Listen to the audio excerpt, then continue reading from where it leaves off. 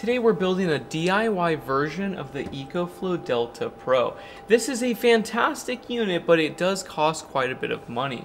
So today we're going to build a more powerful system for less money, and also a system that you can expand to any size that you wish. In the DIY version, you'll be able to build in less than an hour. So first, let's cover the features of the EcoFlow and what you get for the money.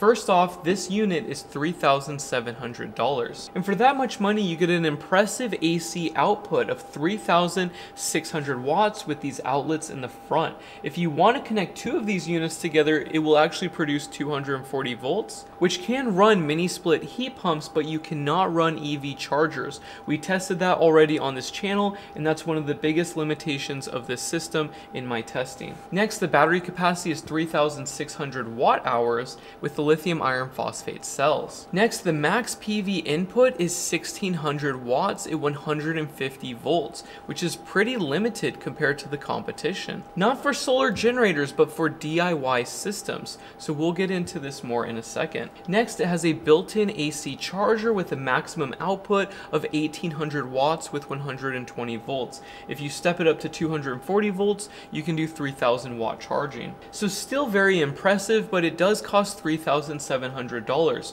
So let's build something that has more power, more capacity, more features, and it's cheaper than this.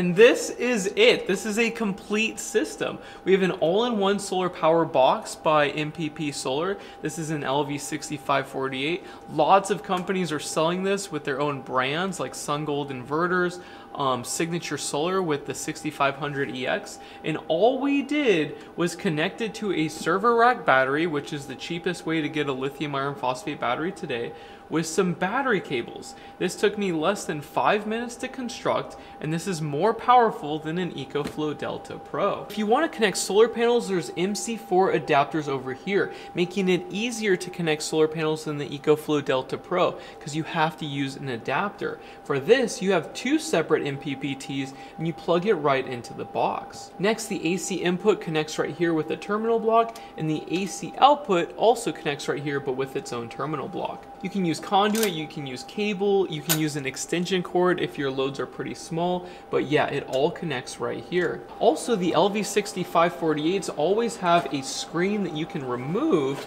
and you can actually mount this wherever you wish with an ethernet cable. And this is how you turn it on or off.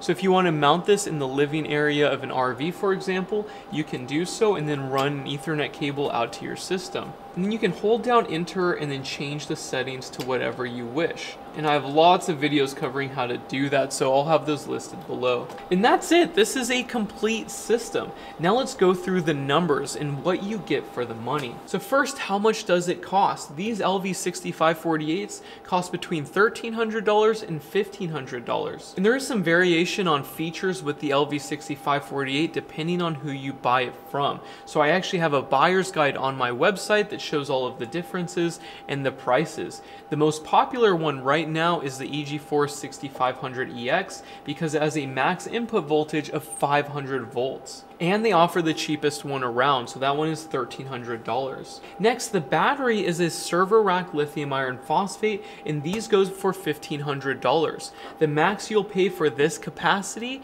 is 1,750. But the reason I chose the trophy battery for this video is the terminals are larger and it can charge and discharge with 100 amps. The EG4 battery has smaller terminals and I didn't want to put these larger cables on it, and the SOK costs more money. The trophy battery has a lower price price and all of the features that we need. And it has internal heaters, so if you're in a cold environment, that might help you. Now, if we used a 6500EX by EG4 and a Trophy battery 100 amp hour 48 volt model, the total cost would be $2,800.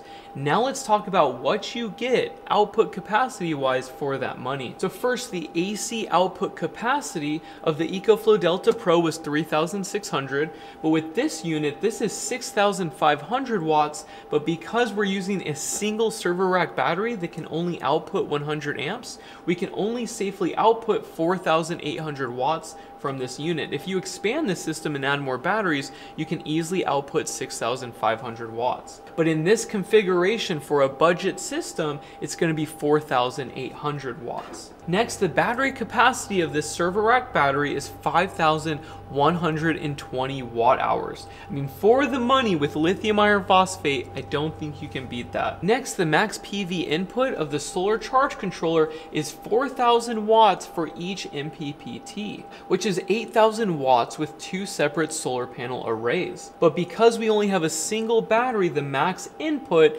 is also 4,800 watts. If you had a second battery, you could easily handle 8,000 watts at that input. And the max input voltage is much higher. Even a basic LV6548 like this can handle 250 volts. If you're using the 6500EX, you can do 500 volts. The EcoFlow Delta Pro can only do 150 volts. So no comparison, this thing can handle a real sized array. Now this unit has an AC charger built in which you access with the AC input. And this can actually charge at 5700 watts, but because we have a single battery for a budget system, you can only charge it 4,800 watts. But still, that is way better than an EcoFlow Delta Pro. And for the money, I don't think you can beat it. I mean, seriously, this is so simple. Anybody could build this in less than 30 minutes and it's more powerful than everything else on the market. So now I'm going to show the numbers so you can see the comparison for yourself.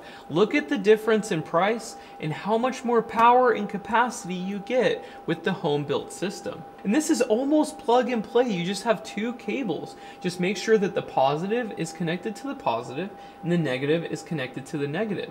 And then don't turn the battery on until everything is connected. Also be sure to follow the startup procedure for your server rack battery because it has what's called a pre-charge resistor circuit that will charge up the capacitors in your all-in-one system. And typically it's very easy.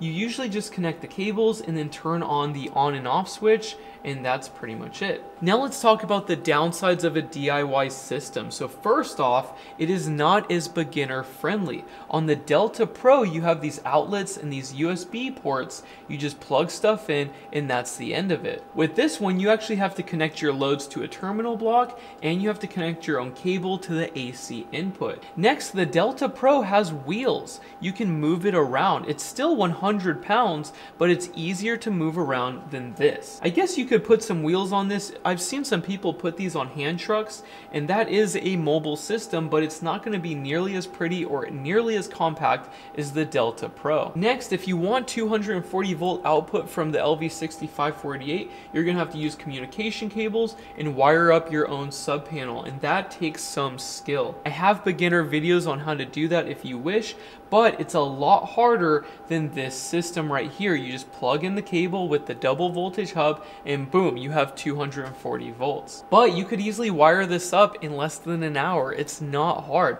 Or you could get an electrician to do it or a friend. Um, it's very easy to set these up. It's not that hard to do. The Delta Pro might be easier to use, but man, if you spend a little bit less and you give it just a couple hours of work, you can have something that's way more powerful. I mean, just the input capacity alone. This is only 1600 watts. This is a maximum of 8,000.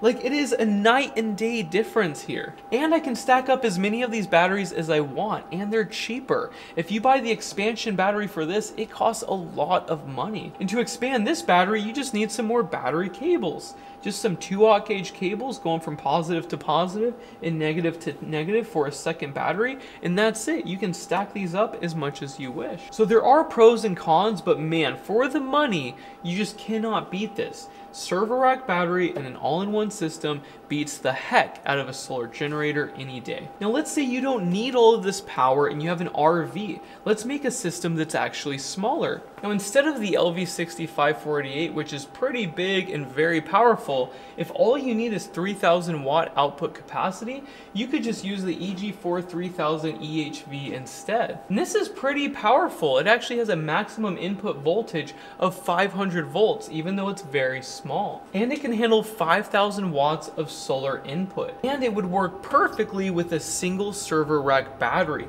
because the charge and discharge is 100 amps on most of these, and this can support that 100%. And the AC charger is 3,800 watts.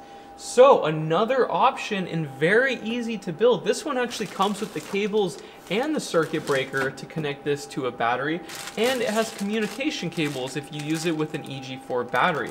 And that was the easiest communication system we've ever set up on this channel. So if all you need is 3000 watts of 120 volts this would be a lot easier and cheaper than the LV6548 let's see how cheap that would be. And this one's $750 so with these two devices it would cost 2250 bucks if I got the EG4 4 version, I would get the EG4 version battery as well, so you have the ability for communication, but it's not required. But I would just get it anyways. But yeah, 2,250 bucks, and in most ways it's more powerful than the EcoFlow Delta Pro, and you get more capacity.